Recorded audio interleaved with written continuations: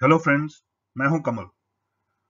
आपका मेरे channel invest wise में बहुत बहुत स्वागत है। हमारी आज की वीडियो एक बहुत ही इंपॉर्टेंट टॉपिक पे है, जिसका नाम है ultimate guide for learning the basics of candlestick patterns तो कैंडलस्टिक पैटर्न्स को पूरे तरह से मैंने एक्सप्लेन करने की कोशिश की है, उसके छोटे से छोटे चीज़ से लेकर बड़े से बड़े चीज़ तक। और ये अगर आप समझ गए इस वीडियो को तो आप खुद से, अपने आप से बिना किसी की मदद लिए आप ये समझ पाएँगे कि मैं कब किस स्टॉक में एंटर करूँ, कब किस स्टॉक से बाहर निकलूं, मेरे को कहाँ पे हाईएस्ट प्रॉफिट मिलेगा, किस प्राइस पॉइंट पे, किस प्राइस पॉइंट से मुझे बच के रहना है, क्योंकि उसमें नेगेटिव रिटर्न्स हो सकते हैं। तो आप ऊँचा खरीदना अवॉइड करेंगे और नीचे बेचना अवॉइड करेंगे। तो अगर कोई स्टॉक मान लीजिए ऊपर उठने वाला है नीचे जाते समय तो आपको पता लग जाएगा तो आप नहीं बेचेंगे उसको। और उसी तरह से अगर एक स्टॉक बहुत ऊपर है और आपके पास वो स्टॉक है तो आप उसको सही समय पे बेच पाएँगे नीचे गिरने से पहले, या आप उसको जब वो ऊपर जा रहा है और ओवरबॉट पोजीशन में आ गया तो आप उसको नहीं खरीदेंगे।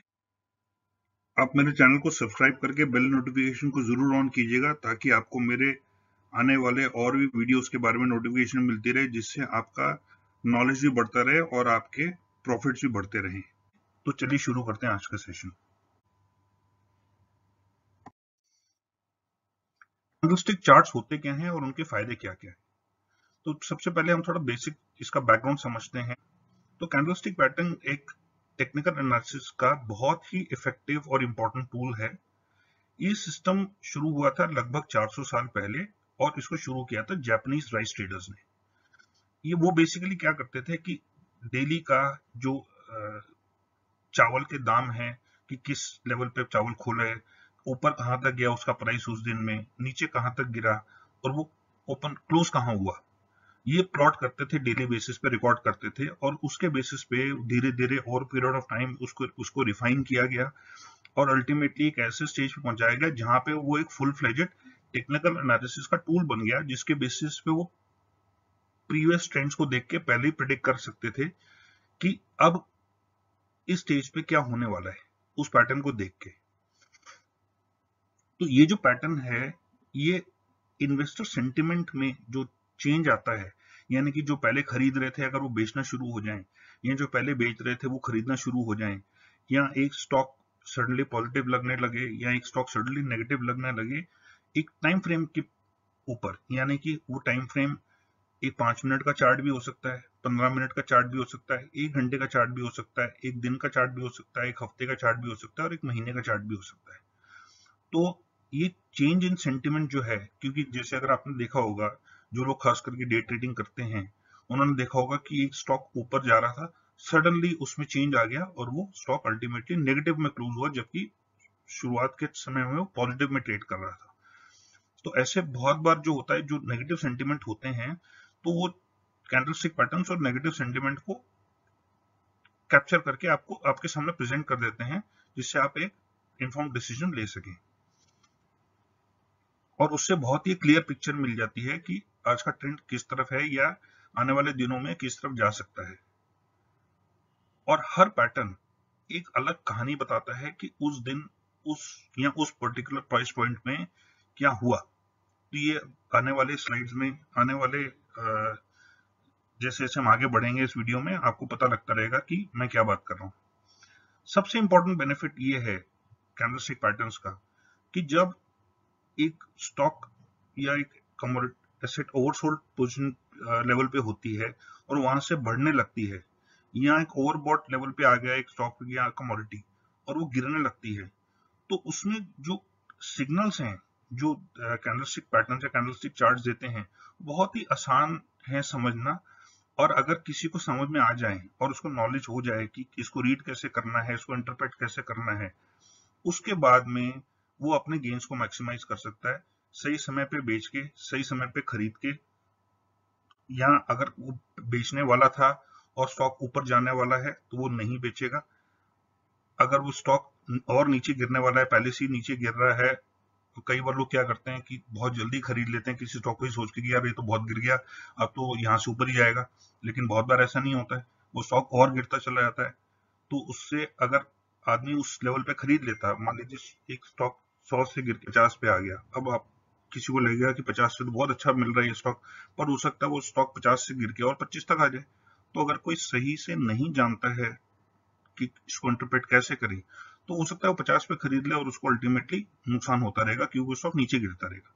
सिमिलरली यार एक स्टॉक जो है वो पचास से बढ़ के सौ हो गया तो इंसान को लगा मेरे पैसे डबल हो गए तो चलो सौ पे बेच देते हैं। बट क्या पता वो स्टॉक सौ से बढ़ के डेढ़ सौ, दो सौ, पाँच सौ तक भी चले जाए। तो इसलिए न जल्दी बेचना चाहिए, न जल्दी खरीदना चाहिए। ये देख के ही खरीदना है बेचना चाहिए कि वो स्टॉक सिग्नल कौन से दे रहा है। और इसी तरह से आप अपने, जो आपके फ़ायदा है उसको भी बढ़ा सकते हैं और लॉस को भी अवॉइड कर सकते हैं। टेक्निकल एनालिसिस बहुत ज़्यादा ज़रूरी क्यों है?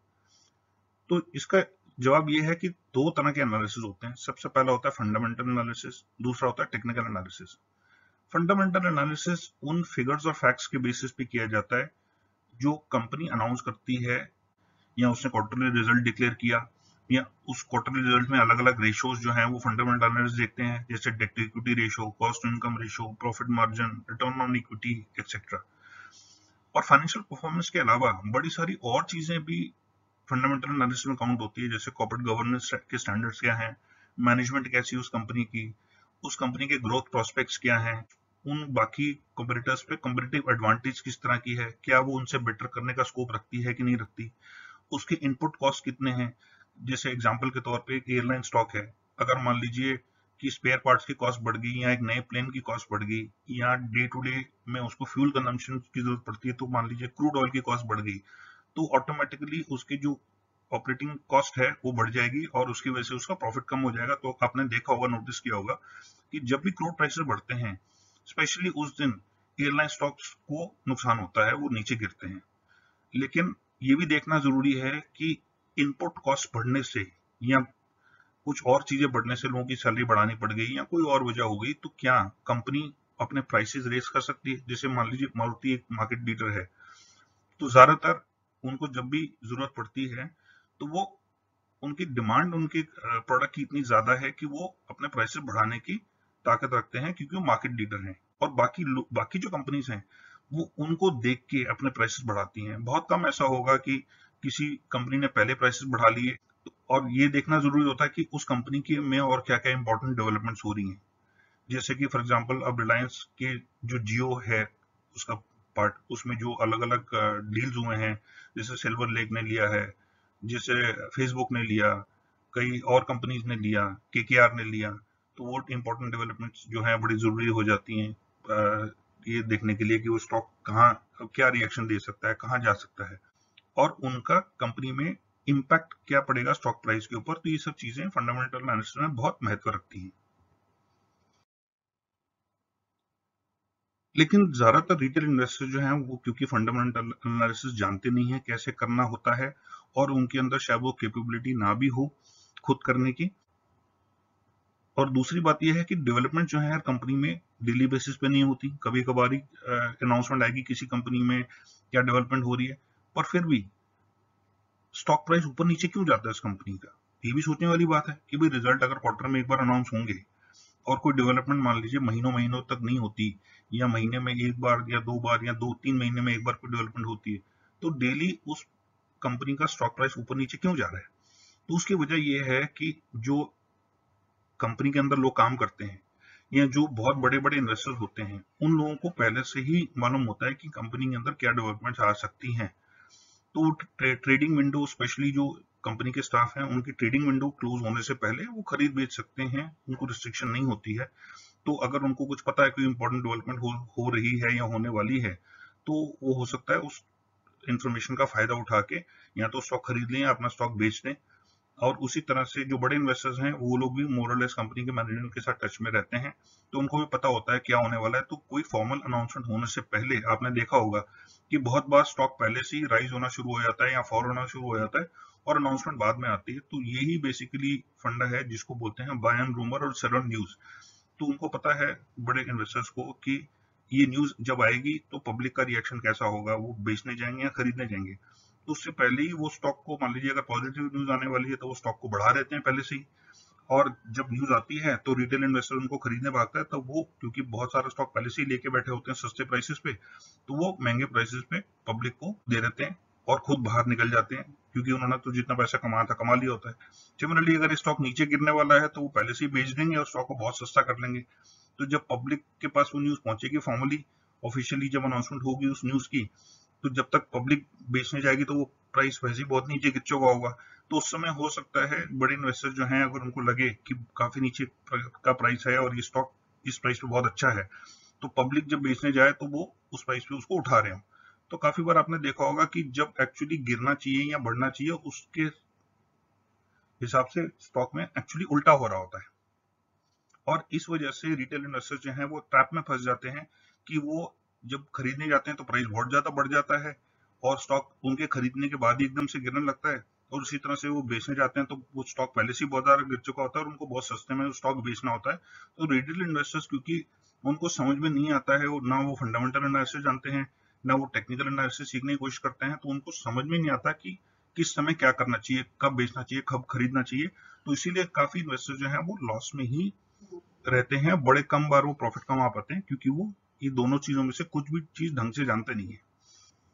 तो अब पता कैसे चले कि कोई प्राइस जो है वो बहुत ज़्यादा है और इस प्राइस पे उसको नहीं खरीदना चाहिए या कोई प्राइस बहुत कम है और अगर वो स्टॉक उस इन्वेस्टर के पास है तो स्टॉक पे नहीं बेचना चाहिए कैसे पता लगाया जाए? तो यहाँ पे टेक्निकल एनालिसिस एक बहुत ही इंपॉर्टेंट रोल प्ले करता है। तो यहाँ पे टेक्निकल एनालिसिस बहुत इंपॉर्टेंट काम करता है। इसके जो चार्ट्स हैं, वो चार्ट्स बताते हैं कि हमें क्या करना है इंडिकेटर्स बताते हैं हमें क्या करना है तो इसमें जो चार्ट्स हैं चार्ट के पैटर्न्स हो गए चार्ट खुद हो गया, या आपके जो बाकी के टेक्निकल इंडिकेटर्स हैं आरएसआई हो गया एम हो गया, बड़े सारे और टेक्निकल इंडिकेटर्स हैं जिनके बारे में हम आने वाले वीडियोस में बात करेंगे तो ये सब चीज़ें आपको एक इंडिकेशन देंगे कि एग्जैक्टली exactly उस स्टॉक में इस समय क्या करना चाहिए। और ये सारे सवालों का जवाब आपको उन टेक्निकल इंडिकेटर्स और चार्ट से मिलेगा अगर, लेकिन आप उसका फ़ायदा तभी उठा पाएँगे जब आपको पता होगा कि इन पैटर्न्स को, इन चार्ट्स को, इन टेक्निकल इंडिकेटर्स को इंटरप्रेट कैसे करना है।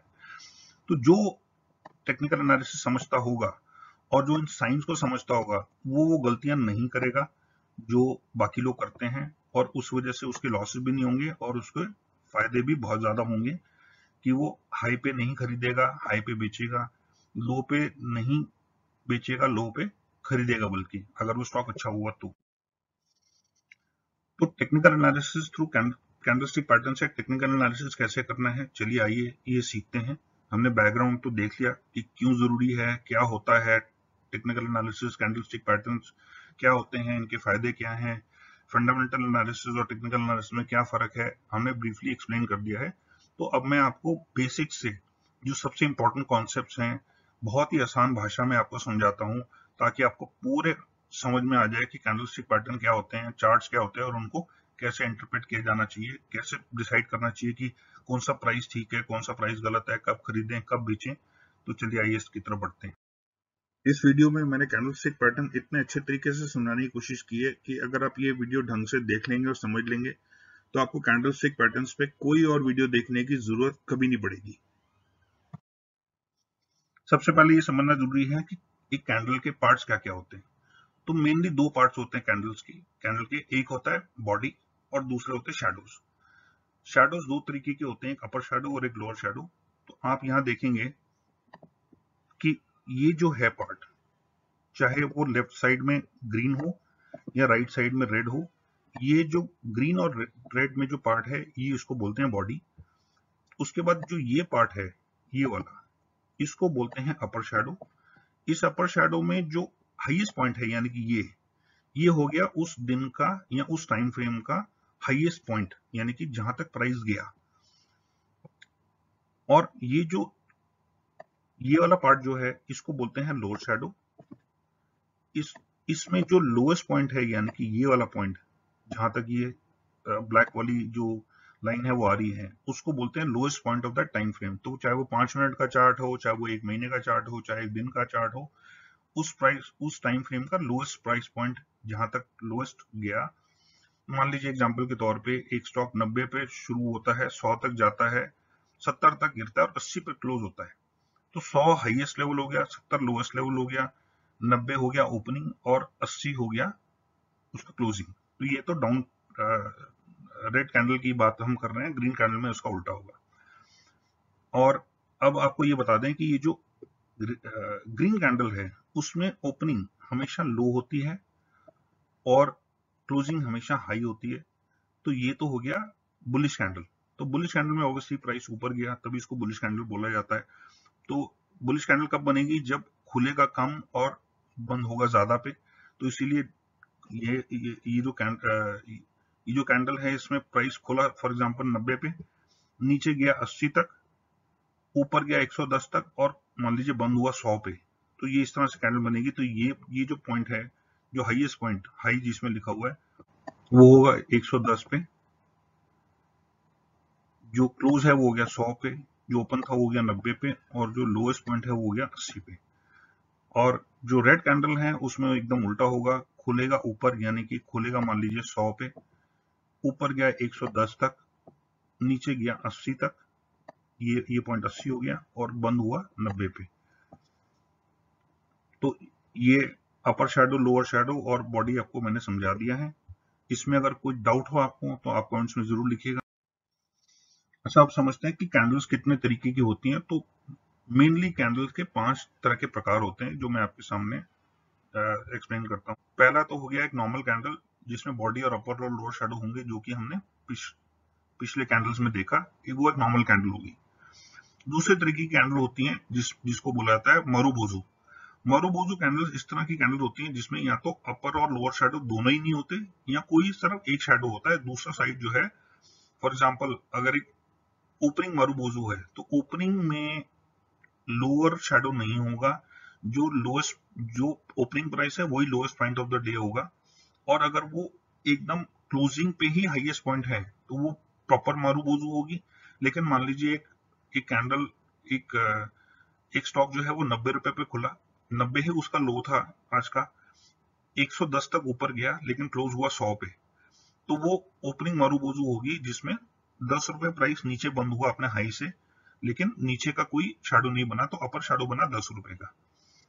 और उसी तरह से क्लोजिंग मारूबोजू होती है, जिसमें मान लीजिए फॉर एग्ज़ाम्पल एक स्टॉक नब्बे पे खुला, नीचे गया अस्सी रुपए तक तो वो लोअर शेडो बन गया दस रुपए का। लेकिन वो क्लोज हुआ एक सौ दस रुपए पे तो नब्बे से खुल के अस्सी तक गया, लेकिन क्लोज हुआ एक सौ दस पे। और वही उसका हाई ऑफ़ द डे था, एक सौ दस ही उसका हाई था और एक सौ दस पे क्लोज हुआ तो वो होगी क्लोजिंग मारूबोजू तो उस क्लोजिंग मारूबोजू में कोई अपर शेडो नहीं होता है सिर्फ़ लोअर शेडो होता है। तीसरे तरह की कैंडल होती है डोजी जिसमें अपर शेडो और लोअर शेडो ही होते हैं और बॉडी या तो बिल्कुल नहीं होती, यानी कि बॉडी नहीं होती का मतलब यह है कि जो ओपनिंग प्राइस होगा, उसी पे वापस आके शेयर बंद होगा और उसमें ऊपर की मूवमेंट भी होगी, नीचे की मूवमेंट भी होगी। हाई ऑफ़ द डे भी होगा लो ऑफ़ द डे भी होगा ओपनिंग के अलावा। और क्लोजिंग जो है, वो ओपनिंग के बराबर ही होगी या ओपनिंग से बहुत ही स्मॉल डिफरेंस भी होगी। जैसे मान लीजिए, नब्बे रुपए पे स्टॉक ओपन हुआ 110 तक गया ऊपर और 70 तक गया नीचे।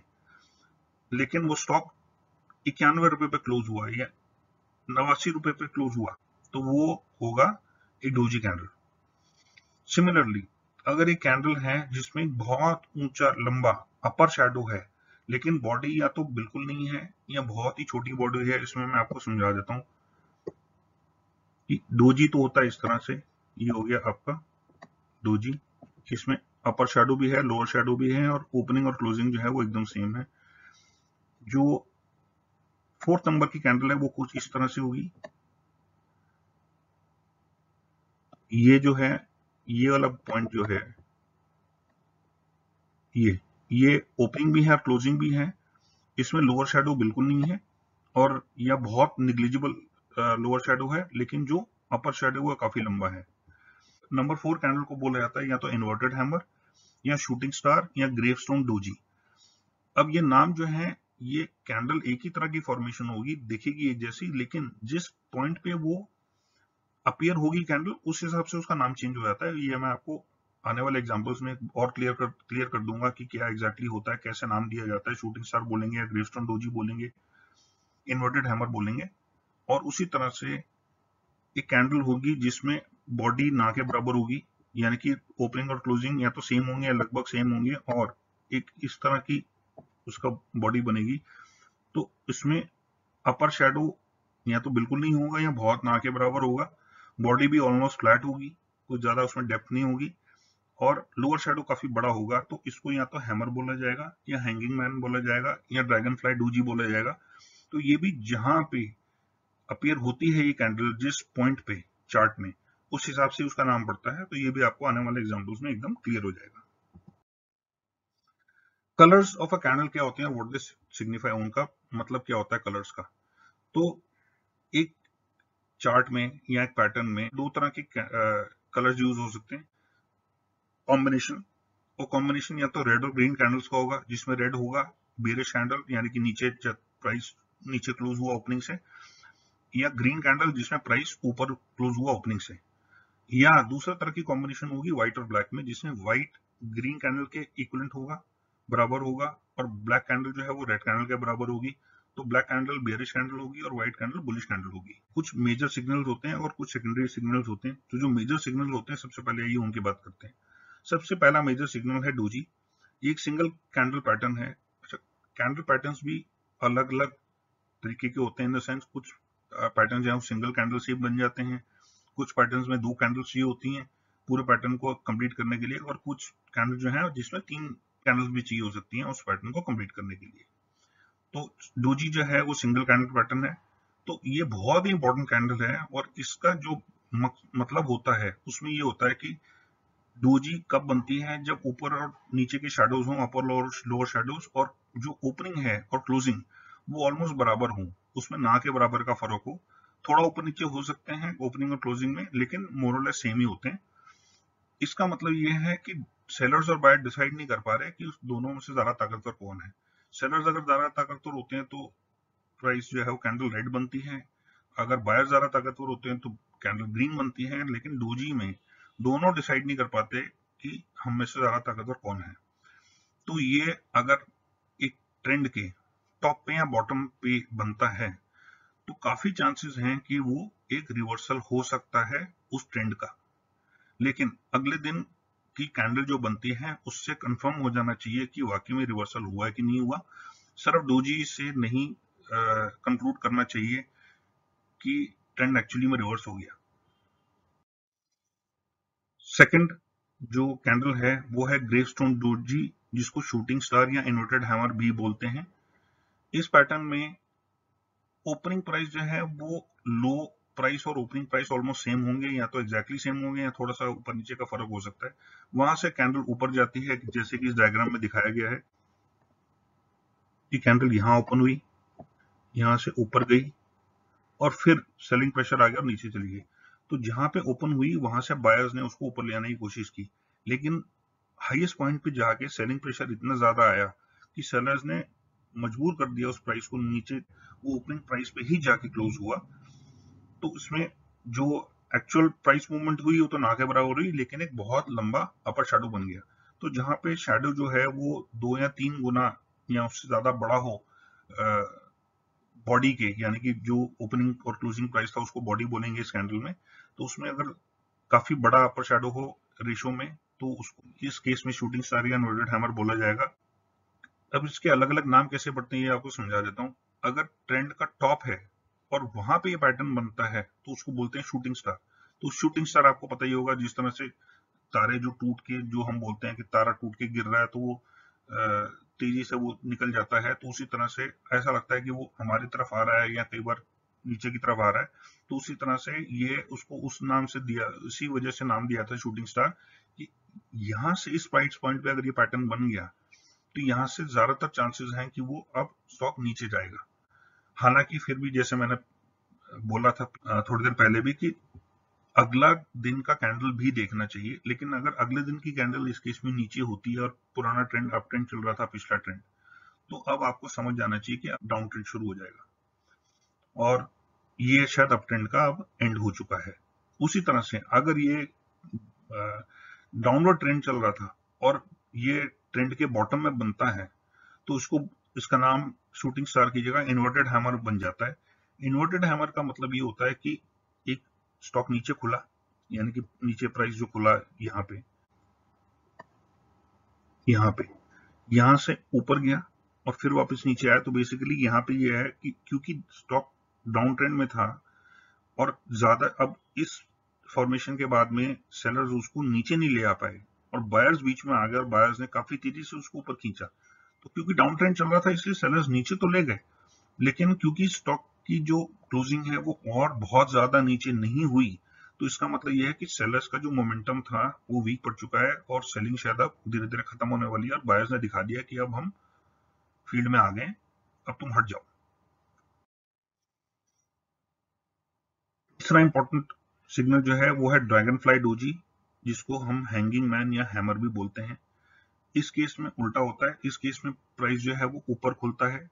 जैसे कि यहाँ खुल रहा है। ऊपर खुला, यहाँ से नीचे गया, फिर बाइंग आई और फिर क्लोजिंग प्राइस जो है वो ओपनिंग के आसपास ही बंद हुआ। तो ये जिस तरह से एक हैंगिंग मैन होता है, जिस तरह से एक इंसान को लटका दिया जाता है उसके हाथ बाँध के और वो एक पिलर के उसमें लटका दिया जाता है, वैसा या एक हैमर हथौड़ा जिस तरह से जिस शेप का होता है उसी तरह से इसका भी डिज़ाइन जो है या शेप जो है वो वैसी है।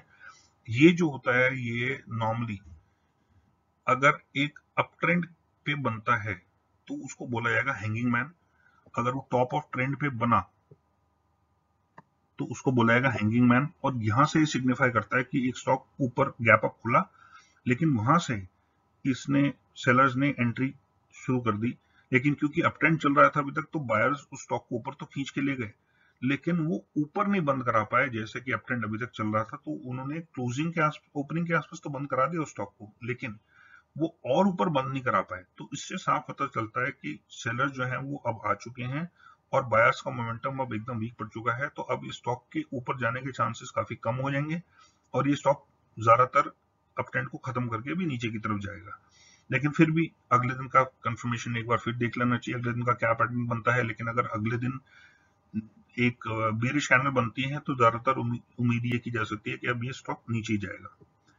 और अगर ये ट्रेंड अगर ये पैटर्न जो है बॉटम ऑफ़ ट्रेंड पे बनता है तो इसको बुलाएगा हैमर तो हैमर जो है, ये सिग्निफाई करता है कि मान लीजिए एक स्टॉक डाउन ट्रेंड में था और गैप डाउन खुला और गैप डाउन के बाद में सेलर उसको और नीचे लेके चले गए क्योंकि ये डाउन ट्रेंड चल रहा था। लेकिन एक पॉइंट पे आने के बाद में ये जो लो ऑफ़ द डे है, यहाँ पे आने के बाद में बाइंग आ गई और बायर्स उसको दोबारा ऊपर खींच के ले गए ऊपर तक।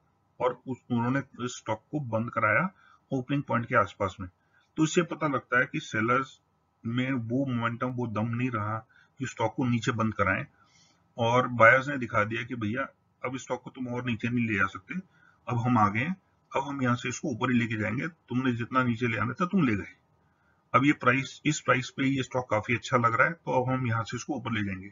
तो जैसे कि मैंने बोला, अगले दिन की कैंडल भी देख लेनी चाहिए, लेकिन अगर अगले दिन की कैंडल इस क्लोजिंग प्राइस से ऊपर क्लोज होती है तो ज़्यादातर चांसेस हैं कि वो डाउन ट्रेंड अब खत्म हो चुका है और अब यहाँ से स्टॉक ऊपर जाएगा। बुलिश इंगल्फिंग ये भी एक बहुत इंपॉर्टेंट पैटर्न है। और लेकिन ये पैटर्न बनता है दो कैंडल्स को मिला के, जिसमें से पहली कैंडल होगी एक बेरिश कैंडल और छोटी कैंडल होगी और दूसरी कैंडल जो है, जो राइट वाली कैंडल है, ये कैंडल इस कैंडल के से बड़ी होगी और इस कैंडल को पूरा इनगल्फ कर लेगी। आप ये देखिए कि ये जो बॉडी बनी है ब्लैक कैंडल की, लगभग इतनी बड़ी, उसको पूरा इस ग्रीन इस व्हाइट कैंडल ने पूरा इनगल्फ कर लिया यानी कि ये जो लाइन है इस बॉडी ये इसकी बॉडी से छोटी है तो इन बुलिश इनगल्फिंग में जो राइट वाली कैंडल होगी which should definitely be a white candle सफ़ेद कैंडल होनी चाहिए, वो ब्लैक वाली कैंडल से बड़ी होगी, या रेड कैंडल जो है वो ग्रीन कैंडल से छोटी होगी, और ये मोस्टली फॉर्मेशन तब बनती है, या तो जो डाउन ट्रेंड है, उसका एंड दिखाने के लिए कि डाउन ट्रेंड में बनेगी और उस डाउन ट्रेंड की जो लेफ़्ट कैंडल होगी लास्ट कैंडल वो छोटी होगी और उसके बाद जो कैंडल बनेगी वो एक व्हाइट कैंडल बनेगी या ग्रीन कैंडल बनेगी जो पिछली कैंडल से बड़ी होगी। ये दिखाने के लिए कि भैया buyers are more stronger than sellers या अगर एक मान लीजिए एक स्टॉक कंसोलिडेशन कर रहा है कहीं पे, किसी लेवल पे, और वहाँ से वो नीचे नहीं जाता है और वो वहाँ पे स्टैग्नेट होके डिसाइड करने की कोशिश कर रहा है कि अब इसको ऊपर जाना चाहिए, नीचे जाना है, नीचे जाना चाहिए तो एक एक बेरिश चैनल के बाद एक बुलिश इनगल्फिंग बनता है तो ज़्यादातर चांसेस ये हैं कि वो अगर पहले अप ट्रेंड चल रहा था और अब एक बीच में कंसोलिडेशन का एक थोड़ा टाइम पीरियड आया तो बुलिश इनगल्फिंग बनने के बाद में ज़्यादातर चांसेस हैं कि वो सिग्नल है कि ये अप ट्रेंड जो है, ये कंटिन्यू होगा। तो इसका मेन पर्पस ये स्कैंडल का कि बियर्स को दिखाने का कि बुल्स जो है दे आर इन कंट्रोल और वो इतनी स्ट्रॉन्ग बाइंग करते हैं कि बियर्स जो है उनको पीछे हटना पड़ता है। बेरिश इंगल्फिंग ये बुलिश इंगल्फिंग का एकदम उल्टा है। इसमें पहले अब ट्रेंड चल रहा था बुलिश यानी कि ऊपर का ट्रेंड लेकिन जब ट्रेंड खत्म होने वाला होता है और सेलिंग जब आने वाली होती है तो बियर्स बीच में आ जाते हैं और बियर्स इतनी स्ट्रॉन्ग सेलिंग करते हैं कि वो पिछली जो बुलिश कैंडल है उसको पूरा का पूरा इन्वेल्व कर लेते हैं और ये दिखाते हैं कि भैया, हम, हमने ऊपर से शुरू कराया जो हमारा ओपनिंग था, वो पॉइंट ये था। क्लोजिंग जो पॉइंट है वो ये है। तो आपकी जो पिछले दिन की कैंडल है, वो पूरी इन्गल्फ हो चुकी है तो आप पीछे हट जाओ। और ये ट्रेंड तब बनता है या तो जब अप ट्रेंड खत्म होने वाला था तब, या अगर एक डाउन ट्रेंड के बीच में एक कंसोलिडेशन का फ़ेज़ आ गया और अब डिसाइड नहीं हो पा रहा है कि स्टॉक को वापस ऊपर जाना चाहिए या नीचे कंटिन्यू करते रहना चाहिए तो अगर एक बेरिश इनगल्फिंग बन जाता है तो उससे कंफर्म हो जाएगा कि अभी बेरिश ट्रेंड खत्म नहीं हुआ है। तो इसमें जो रेड कैंडल है या ब्लैक कैंडल है, वो कंप्लीटली इनगल्फ कर लेगी उस व्हाइट कैंडल को, पिछले वाले व्हाइट कैंडल को। और उससे जो बियर्स हैं, वो बुल्स को बता देंगे कि भैया अभी तक बियर्स ही कंट्रोल में हैं और बुल्स उसको देख के पीछे हट जाते हैं। पैटर्न पैटर्न एक बुलिश पैटर्न है। डाउन ट्रेंड के खत्म होने के समय आता है। और ये जो व्हाइट या ग्रीन कैंडल है, ये ब्लैक कैंडल के नीचे से शुरू होगी। यानी कि अगर ब्लैक कैंडल यहाँ खत्म हुई तो ये यहाँ से शुरू होकर ऊपर तक जाएगी। और इसमें सबसे इंपॉर्टेंट बात यह है कि ये जो कैंडल है, इसका जो एंड है, वो इस ब्लैक कैंडल के आधे से ऊपर का पोर्शन कवर करना चाहिए। अगर आधे से नीचे कवर करती है तो वो उतना स्ट्रॉन्ग पैटर्न नहीं बनेगा, लेकिन अगर आधे से ऊपर उसने कवर कर लिया पोर्शन को, और अगर और ज़्यादा ऊपर किया तो तो बहुत ही अच्छा है, लेकिन मिनिमम अगर आधे से ऊपर भी कर लिया तो भी ये काफ़ी स्ट्रॉन्ग रिवर्सल पैटर्न माना जाएगा, लेकिन अगले दिन फिर हमें देखना चाहिए कि अगले दिन कोई बियरिश पैटर्न ना बने। अगर अगले दिन भी बुलिश पैटर्न बनता है तो चांसेस है कि अगले दिन का जो बुलिश पैटर्न होगा, वो इसके ओपनिंग प्राइस को, इस ब्लैक कैंडल के ओपनिंग प्राइस को क्रॉस करके और ऊपर बंद होगा तो उससे और कंफर्म हो जाएगा कि अब तो जो बियरिश ट्रेंड है वो खत्म हो चुका है। Dark cloud cover dark cloud cover जो है वो पियर्सिंग पैटर्न के ऑपोजिट का ट्रेंड है। तो ये तब होता है जब एक अप ट्रेंड खत्म होने वाला होता है।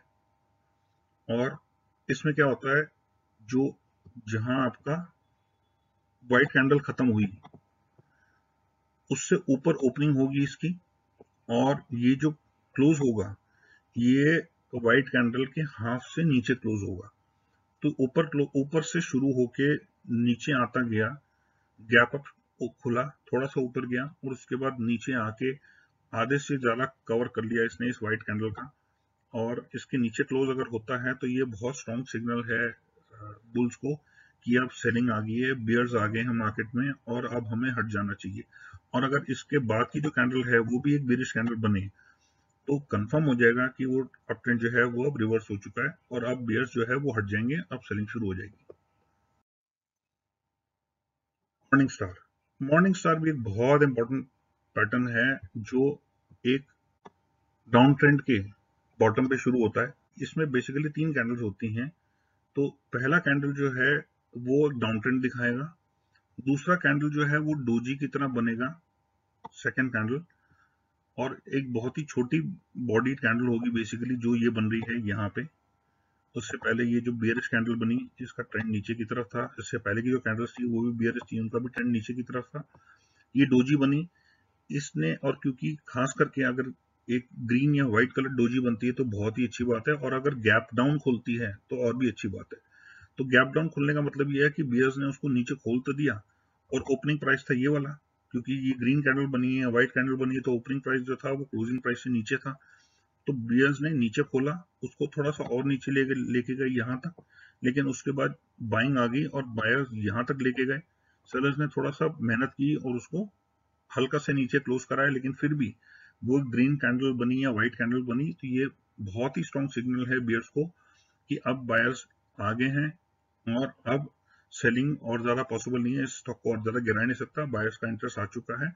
और उसके बाद सबसे इंपॉर्टेंट ये है कि उसके बाद अगर एक व्हाइट कैंडल बनी और इस ब्लैक कैंडल के इफेक्ट्स को उसने पूरा खत्म कर दिया और इसका डाउनवर्ड जो मूवमेंट थी उसको पूरा रिट्रेस कर लिया, चाहे वो उससे ऊपर ना भी क्लोज हो, इससे ऊपर क्लोज हो तो बहुत ही अच्छा है। लेकिन अगर इससे ऊपर क्लोज नहीं होती है, लेकिन व्हाइट कैंडल बनती है तो भी काफ़ी महत्वपूर्ण है ये सूचना बियर्स को कि भैया आप हट जाओ, अब ये डाउन ट्रेंड खत्म हो चुका है। और ले, और एक इंपॉर्टेंट बात नोटिस करने वाली ये है कि आपने देखा होगा कि ये जो थर्ड कैंडल बनी है, ये वाली, ये इस सेकेंड वाली कैंडल के व्हाइट कैंडल के गैप अप खुली है।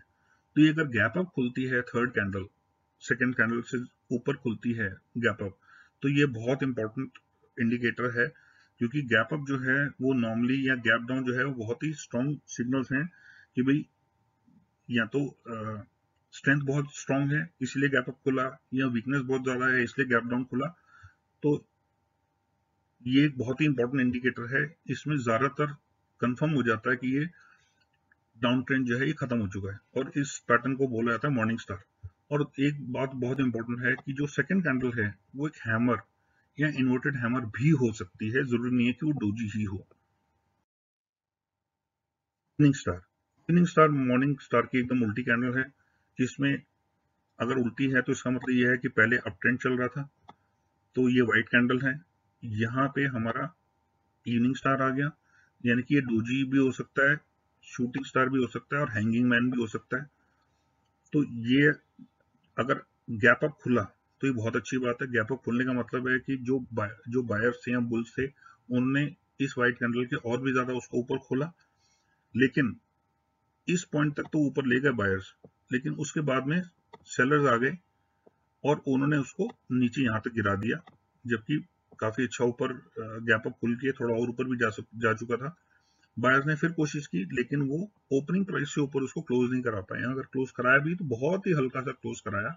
लेकिन उसके अगले दिन अगर एक गैप डाउन कैंडल खुलती है और वो बियरिश कैंडल होती है जैसे कि ये, और आप ध्यान देंगे तो यह भी देखेंगे कि ये क्लोजिंग प्राइस था सेकंड कैंडल का, और ये जो खुली है बियरिश कैंडल ये इससे गैप डाउन खुली है नीचे की तरफ़। तो ये अगर आधे से ज़्यादा आ गई है इसको पूरा अगर यहाँ तक अगर आ जाती तो बहुत ही अच्छा था, लेकिन अगर आधे से ज़्यादा भी कवर कर चुकी है और बियरिश कैंडल बनती है तो that's a very strong signal to the bulls कि अब ये अपट्रेंड खत्म हो चुका है, और अब आप पीछे हट जाओ, अब यहाँ से स्टॉक नीचे जाएगा। Kicker kicker is one of the most important reversal patterns और ये मैं आपको समझाता हूँ कैसे। ये दोनों तरीके से काम करता है अप ट्रेंड में भी और डाउन ट्रेंड में भी। ये डाउन ट्रेंड था, पहले एग्जांपल में हम ले लेते हैं। तो ये डाउन ट्रेंड था, यहाँ स्टॉक अभी तक नीचे आ रहा था। ये इसकी लास्ट कैंडल बनी इस डाउन ट्रेंड की। उसके बाद अगली जो कैंडल बनी, यानी कि जो सेकंड कैंडल बनी, वो उसी ओपनिंग प्राइस पे खुली, जहाँ पे रेड कैंडल या ब्लैक कैंडल का जो ओपनिंग प्राइस था, क्योंकि ब्लैक कैंडल एक बेरिश कैंडल थी तो उसका ओपनिंग प्राइस ऊपर होगा क्लोजिंग प्राइस नीचे होगा। लेकिन अगली जो कैंडल बनी है, वो इसी ओपनिंग प्राइस से बनी और उस ओपनिंग प्राइस से उसने नीचे मुड़ के नहीं देखा, वो सीधा ऊपर जाती रही। तो ये एक बहुत ही पावरफुल बहुत ही स्ट्रॉन्ग सिग्नल है बियर्स को कि अब ये डाउन ट्रेंड खत्म हो चुका है। अब हम आगे हैं और अब हम स्टॉक को ऊपर ही लेके जाएँगे। और उसी तरह से अगर एक अप ट्रेंड चल रहा था तो आप मान लीजिए कि ये पिछले कैंडल्स थे, ये नीचे से स्टॉक को ऊपर लेके जा रहे थे। ये लास्ट कैंडल बनी एक बुलिश कैंडल क्योंकि अप ट्रेंड था।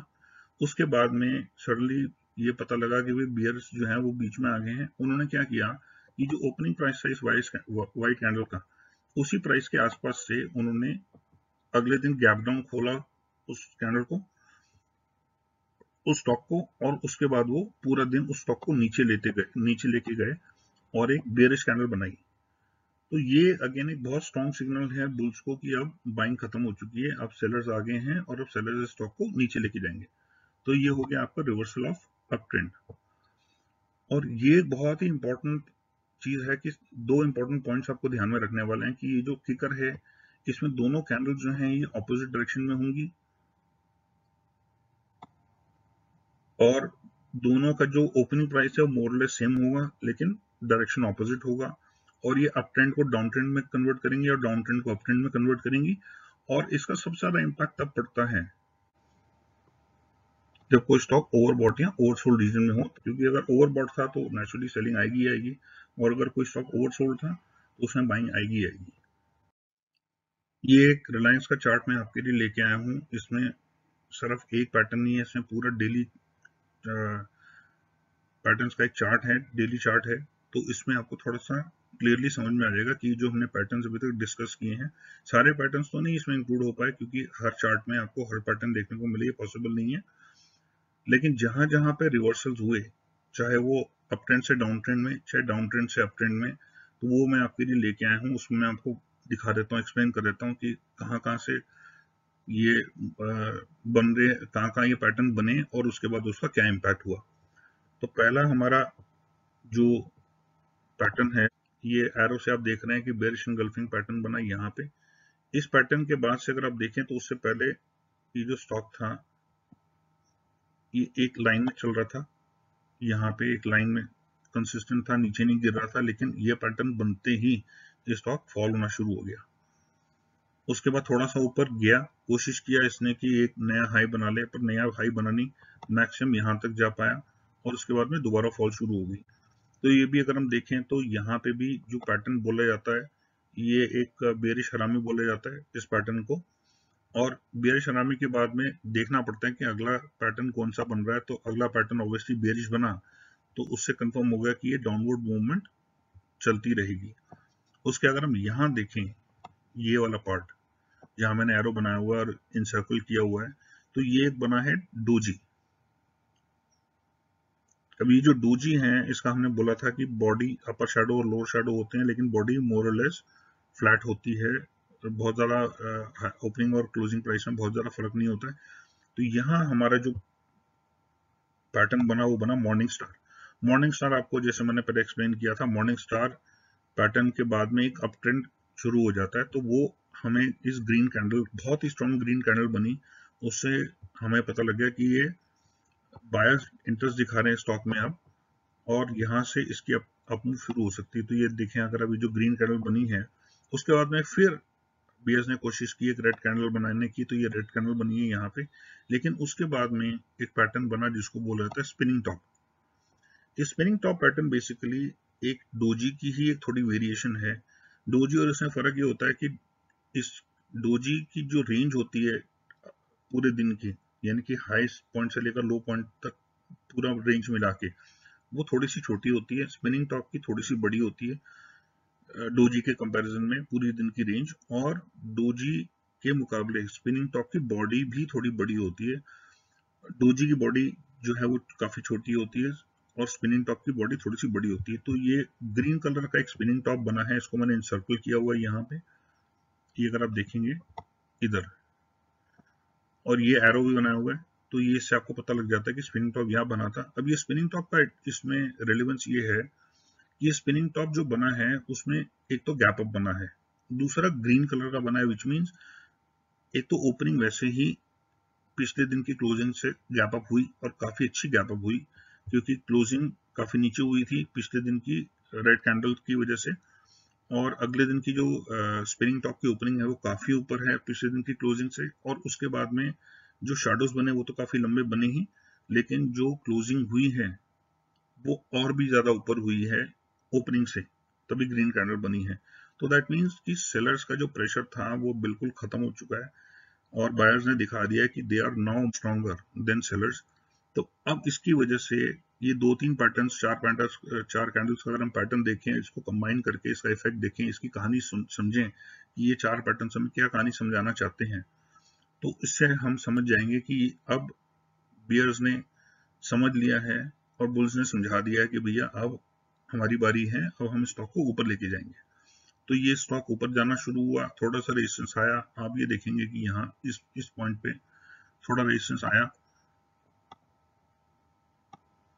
थोड़ा रेजिस्टेंस आया यहाँ पे, लेकिन उसके बावजूद भी स्टॉक नीचे नहीं गिरा ज़्यादा। इस ग्रीन कैंडल को ब्रीच नहीं किया। और दूसरा 20 डे 50 डे या 200 डे की ईएमए लाइंस है, वहाँ से भी जो स्टॉक है, ऊपर बढ़ता चला गया। तो उसने पहले 20 डे के ऊपर क्लोज करना शुरू किया, फिर 50 डे फिर 200 डे तो धीरे धीरे करके इसने सारे ई e को ब्रेक ब्रीच कर दिया। लेकिन अब हम चौथे अपने पैटर्न पे आते हैं, जो कि शूटिंग स्टार पैटर्न जो कि बना इस पॉइंट पे।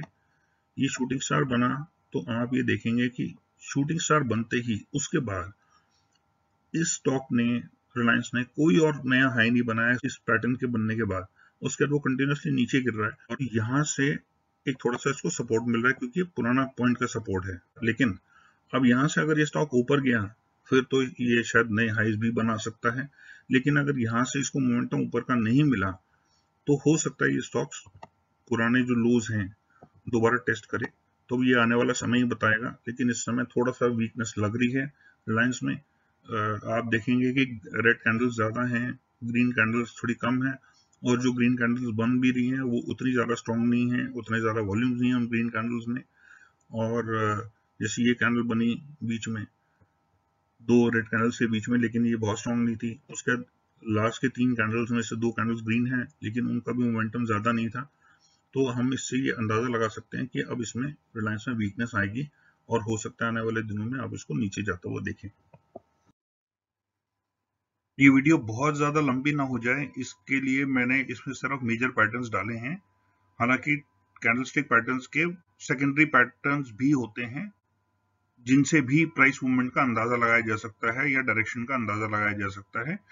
लेकिन वो वीडियो मैं सेकेंड पार्ट में तब बनाऊँगा जब मुझे इस वीडियो के 5000 से ऊपर लाइक्स मिलेंगे। तो अगर आपको ये वीडियो अच्छी लगी है तो आप इसको ज़रूर लाइक का बटन दबाइए और अपने और फैमिली और फ्रेंड्स के साथ शेयर कीजिए, ताकि इसके लाइक्स जो है वो 5000 से ऊपर हो जाएँ और मैं इसका सेकेंड पार्ट बनाने के लिए मुझे इसकी मोटिवेशन मिले, ताकि मैं इसका सेकेंड पार्ट जल्द से जल्द बना सकूँ आपके लिए और आपके लिए ला सकूँ। आप कमेंट्स में ज़रूर बताइएगा कि आप में से कौन कौन लोग ये पैटर्न जानते थे कौन कौन लोग ये पैटर्न फॉलो करते हैं और किस किस के लिए सारे पैटर्न नए थे, किसको इन पैटर्न मेरे समझाने से हेल्प मिली, आप कमेंट्स में ज़रूर लिखिएगा। और कंक्लूजन में सर ये बोलना चाहूँगा कि एक स्टॉक का अगर एक रीजनेबल पीरियड ऑफ़ टाइम तक चार्ट देखा जाए तो उसमें ये पैटर्न्स कहीं ना कहीं इनमें से जो हमने पैटर्न डिस्कस किए हैं, कोई ना कोई पैटर्न ज़रूर रिफ्लेक्ट होगा और उससे हमें पता चलेगा कि वो स्टॉक अप उसका अप मूव कब खत्म हो रहा है या डाउन मूव कब खत्म हो रहा है तो ये ज़रूर कहीं ना कहीं पैटर्न आप आइडेंटिफाई कर पाएँगे जो हमने बोले हैं। और इनको आप दोबारा से वीडियो देखिएगा, उससे आपको थोड़ा सा और क्लैरिटी आ जाएगी कि हमने क्या बातें की। और ये, जैसे मैंने आपको एग्जांपल्स में दिखाया, जो चार्ट हमने देखा अभी, उससे अगर आपको ये अंदाज़ा ज़रूर हो गया होगा कि इससे बायर्स की जो जो साइकोलॉजी है, उसकी वो, उसकी ऑथेंटिसिटी कंफर्म हो जाती है। कि हाँ अब बायर्स के मन में बाइंग खत्म हो चुकी है। अब सेलर्स का जो है वो ज़ोर पकड़ रहा है तो इसीलिए उन्होंने शूटिंग स्टार बनाया या डाउन ट्रेन जा रहा था तो वो मॉर्निंग स्टार बना। वहाँ से मूवमेंट ऊपर शुरू हुई तो ये सब चीज़ें बायर्स और सेलर्स की साइकोलॉजी को रिफ्लेक्ट करते हैं, क्योंकि एक स्टॉक या तो ऊपर जाता है या नीचे जाता है, बीच का तो कोई रास्ता नहीं है, या तो उस लेवल पे कंसोलिडेट कर सकता है। तो मेनली मार्केट में दो ही चीज़ें होती हैं, या बायर होगा या सेलर होगा। तो जो ज़्यादा स्ट्रॉन्ग होगा स्टॉक उसी डायरेक्शन में जाएगा। अगर सेलर ज़्यादा स्ट्रॉन्ग होंगे तो स्टॉक नीचे जाएगा। बायर ज़्यादा स्ट्रॉन्ग होंगे तो स्टॉक ऊपर जाएगा। तो ये अंडरस्टैंड करना बहुत ज़रूरी है कि कौन ज़्यादा स्ट्रॉन्ग है। तो ये कैंडल्स आपको बताती हैं कि कौन ज़्यादा स्ट्रॉन्ग है। इनकी जो फॉर्मेशन है, इनकी जो टाइमिंग है कि ये ये कैंडलस्टिक पैटर्न कहाँ बना, वो बहुत इंपॉर्टेंट है। कितनी डेप्थ में बना, कितने वॉल्यूम्स के साथ बना, कितनी इंटेंसिटी के साथ बना ये सब चीज़ें बहुत ज़रूरी हैं देखना। इसी से आपको उस स्टॉक की कहानी पता चलेगी कि पल पल उस स्टॉक में डे टू डे बेसिस पे वीकली बेसिस पे आवरली बेसिस पे क्या हो रहा है। और इससे आप रूमर्स को अवॉइड कर पाएँगे। किसी ने आपको एसएमएस पे टिप दे दी, किसी ने न्यूज़ में कुछ बोल दिया, किसी फ्रेंड ने कुछ बोल दिया, किसी जानकार ने कुछ बोल दिया कि भाई फलाना स्टॉक खरीद लो, फलाना बेच दो, उसमें ये होने वाला है, उसमें वो होने वाला है। तो आपको ये सब आँखें बंद करके मानने की ज़रूरत नहीं है। आप तसली से उसका चार्ट देखिए देखिए पैटर्न कौन से बन रहे हैं ट्रेंड कैसा चल रहा था, कोई मेजर पैटर्न आपको स्पॉट हुआ कि नहीं हुआ, और उसके बेसिस पे ही आप डिसीज़न लीजिए तो आपको लॉस ना के बराबर होगा या मोस्टली प्रॉफिट ही होगा, ना के बराबर तो शुरुआत में हो सकता है आपको थोड़ा सा हो कि जब तक आपके, जब तक आपको एक्सपीरियंस नहीं आता, जब तक आपको एक्सपर्टीज नहीं आती, लेकिन जैसे जैसे आप एक्सपर्टीज आपकी बढ़ती जाएगी, आपके प्रॉफिट्स भी कई गुना बढ़ते जाएँगे, और आपको ज़्यादातर प्रॉफिट्स ही होंगे, आप वो धोखा नहीं खाएँगे या नुकसान नहीं झेलेंगे नॉर्मली लोग झेलते हैं बिकॉज़ उनको नॉलेज नहीं होती। तो आप कमेंट्स में ज़रूर लिख के बताइएगा कि आपको ये सेशन कैसा लगा। और आपको और भी तो बहुत सारे इंफॉर्मेटिव वीडियोस में आपके लिए लाता रहूँगा जिसमें आपका नॉलेज बढ़ता रहे, जिसमें टेक्निकल इंडिकेटर्स होंगे म्यूचुअल फंड्स के बारे में बात करेंगे, कुछ और चीज़ों के बारे में बात करेंगे इंटरडे ट्रेडिंग के बारे में बात करेंगे स्टॉक्स को कैसे आइडेंटिफाई किया जाए स्टॉक्स को कैसे स्कैन किया जाए कि कौन सा स्टॉक लेना है, कौन सा नहीं लेना। मार्केट में इतने हज़ारों स्टॉक्स हैं तो आप स्कैन कैसे करेंगे कि स्टॉक कौन सा हम पकड़ें? किस स्टॉक में कौन सा पैटर्न बन रहा है, वो सब चीज़ें हम आने वाले वीडियोस में बात करेंगे। तो इसीलिए आपका इस चैनल को सब्सक्राइब करना और नोटिफिकेशन ऑन करना बहुत ज़रूरी है तो आपके आपको मेरे आने वाले वीडियोस के बारे में इंटीमेशन मिलती रहे और आप देख के अपना ज्ञान बढ़ाएँ और उसकी वजह से अपने प्रॉफिट भी बढ़ाएँ। अपना बहुत बहुत ख्याल रखें और thank you for watching this channel and take care